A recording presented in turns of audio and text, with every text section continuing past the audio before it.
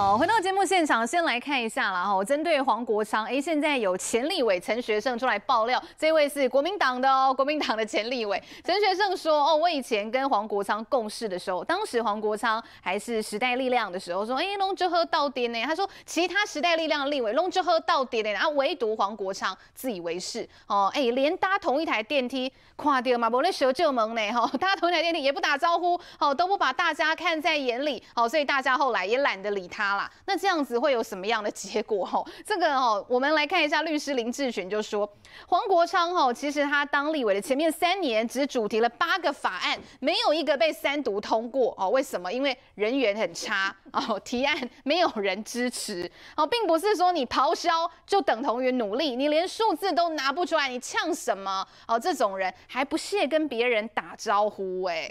来，邵廷议员呐，来啦，这个黄国昌怎么办？如果以后民众党黄国昌他们揪你们要倒阁，你们会不会参与卡？啊？来，少廷。其实不管他是要倒阁，嗯，还是要提案，嗯，我相信都需要其他在野党对他的支持，嗯。所以其实刚才冠廷讲的非常的清楚。今天如果立法院有一天要走到倒阁，比如说像过去又是有什么重大的争议性的行政院的一些事情，可能立法院会推出要倒阁的时候，好。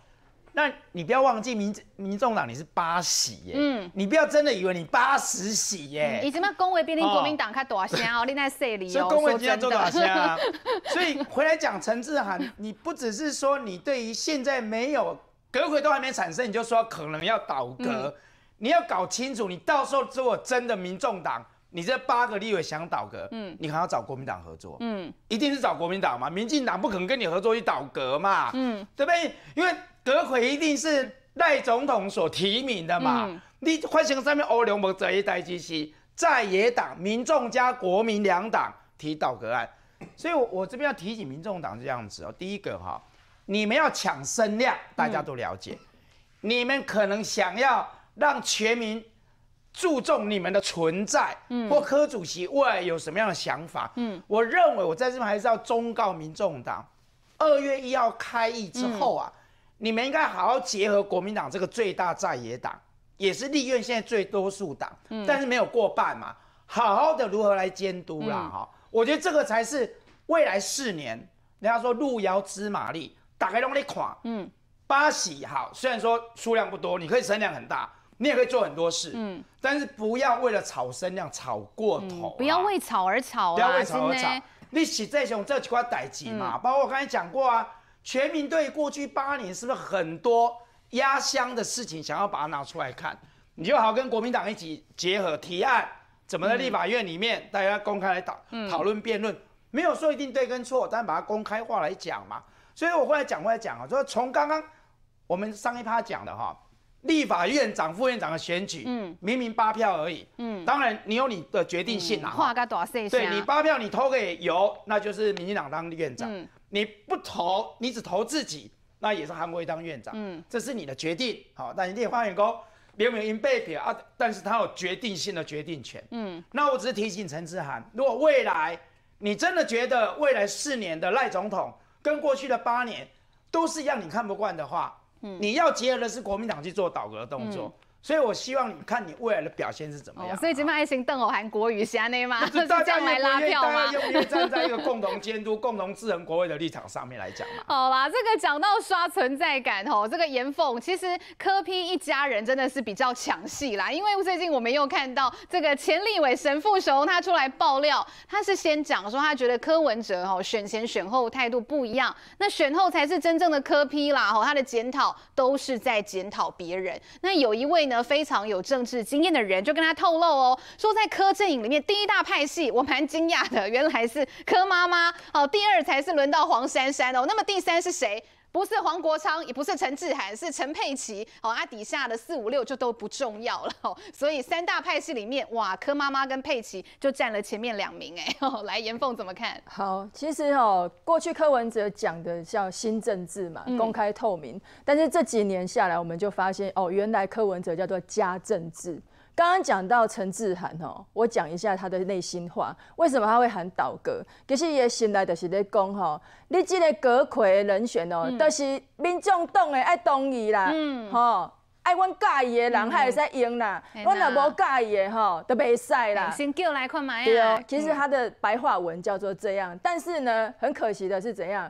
唔捌个假捌啊，然后呢又不做功课，所以才闹出这个笑话。这个就是陈志涵的状况嘛，哈。所以哈，这台语叫做啥？哎，讲的惊死人，做的笑死人啦。好，这个就是陈志涵哈。我想他这几天的流量来源大概是这样。那第二个，刚刚讲到为什么柯文哲这几年来，我们发现说，也就在加政治，因为某几个政治人物的家人哈的。名字啊，爸爸妈妈、兄弟姐妹啦，哈，大家拢熟，大家拢熟悉的啦。这个也是创全台湾哦的这个创举了，你知道吗？所以这个其实也有很大的风险，嗯，好，这个在政治利益回避上面其实会是一个很大的风险，这是第一个。第二个讲到他们民众党里面的派系问题哦，我觉得像刚刚陈志涵也好，其实他们现在在做的都是什么？包含黄国昌，最近我都还以为哈，他们民众党的不分区只有黄国昌，你知道吗？因为都是他的声音啊，连黄珊珊，哎，人家最近多低调啊，几乎是没有讲话，对不对？结果那黄国昌几个人在飙 M 嘛哈，那黄国。国昌、黄珊珊、啊佩奇，嗯，哦，这几个人其实他们都在做什么？就是抢功嘛，想要抢表现。那柯文哲就在旁边笑，他觉得说：“哎，你们这些人哦，斗来斗去，都是为了我，都是为了我。你们斗得越凶，你们抢功越凶。其实呢，对柯文哲来说，就是一个声量的保证嘛。好，这是第一个。第二个哈，我要特别讲蔡壁如，嗯。这个影响的关键人物哦，现在大家都在讲说双双黄，其实哎，他们两个不合嘛，哈，之前两个都已经在有一些角力啊，从他们开记者会，到底麦克风要不要给他讲？哦，连这种小动作都已经网友都观察的很入微哦，细节，哎，你你讲五秒，我就要讲十秒，比你讲比你讲大声，比你讲加五秒，安尼然后安尼蛮好啦，哈。我觉得这个关键人物在蔡壁如，为什么柯文哲现在要把蔡壁如选后，赶快释出善意说啊，你进来邓来民众党了哈？为什么？第一个，因为蔡壁如当时被他发配边疆，他在选的时候帮助他的人叫做谁？卢秀燕是哎，国民党的哎哎，对于柯文哲来说，最了解他的人哈，或许不是陈佩琪，叫做蔡壁如。蔡壁如用得好，会变成柯文哲的血滴子；用不好，会变成什么？对手的核弹。因为最了解柯文哲是他。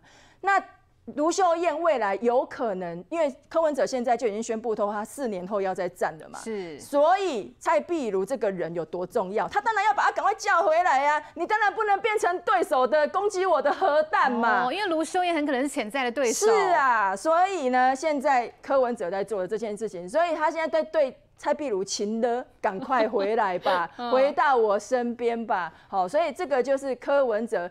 最大的目的，他根本就不在乎你们这些人在那边内斗，因为他就只有想到的是他自己的未来。嗯，蔡壁如这拜三里不一起酸不屌啦。不过有人去说，哎，如果江启臣哦之后，如果那人家酸屌台中市长啊，江启臣一溃，会不会最后变成蔡壁如的呢？这个我们可以拭目以待，继续观察啦。那稍微休息一下，等一下回来就带大家来来看哦。赖清德他昨天不止到国会里面，好，他勉励民进党的新科立委，哦，勉励冠。廷啊，还有其他的新科立委，他也不忘跟打拼，好拼尽全力。可是很可惜，好还是落选的战友们一起吃便当哦。我们等一下回来一起来看。